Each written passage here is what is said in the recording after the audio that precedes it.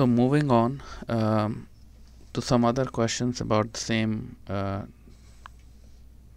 problem that we have a room with two doors door 1 and door 2 and I have uh, the five total keys out of which two are the good keys which are 1 and 2 and uh, three bad keys which are 3 4 and 5 so we have uh, previously covered that uh, the door A needs a maximum number of 5 attempts and door B can be opened maximum number of 4 attempts. So the total number of maximum attempts that would need to open the door is 9 now what is the probability that door A can be opened in the first attempt? We have one key good key and five total keys. So the door A can be opened in first attempt.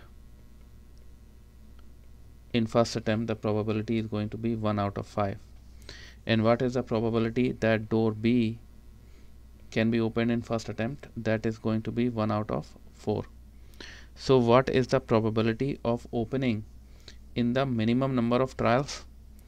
So what is the probability of opening in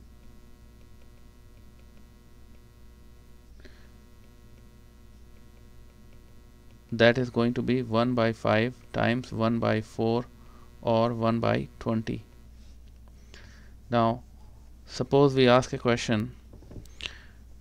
Probability that two doors will open after the fifth trial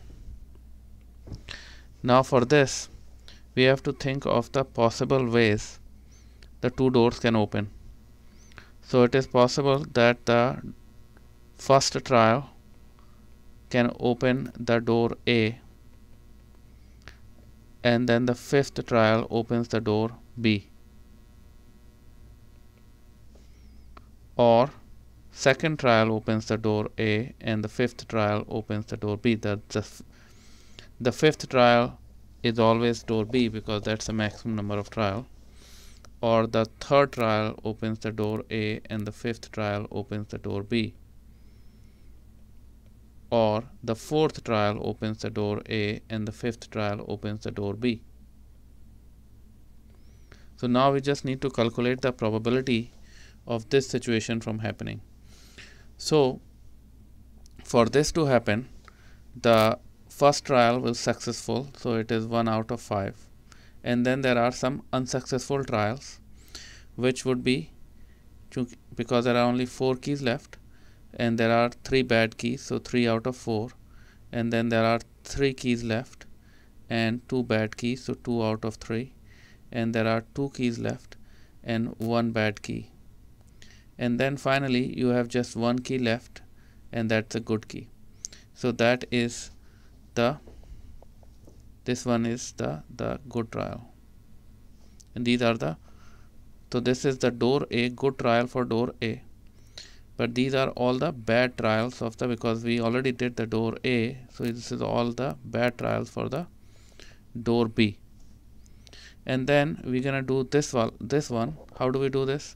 So the first attempt is going to be a bad attempt for the door A here. So this is going to be 3 out of 5 but the second attempt is going to be the good attempt for door 1 so this is the possibility here is 2 is is there are four keys out of them and out of them one is the good one. So 1 out of 4 and then we are done with the first door and then we are back to the second door.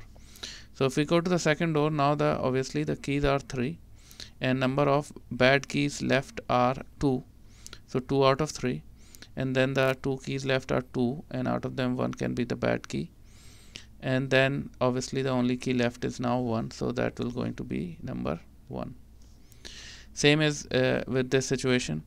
You have five total keys and you get three bad keys and then you have four and you get two and then you got three but you get one good key here but now you are left with only one bad key. So for this so this is you're done with the first trial first door and then you come to the second door but you have one bad key. So you get one out of two bad key and then finally one. And after all this you would just add them up.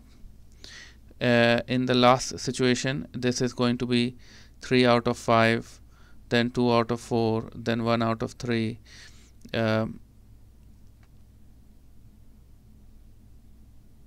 for the fourth one uh, let's try the let's try the scenario 4 again but this is uh, going to be uh, pretty much exactly the same. So let's try scenario 4 which is going to be 3 out of 5 then 4 out of then fourth trial then third trial. You also are unsuccessful.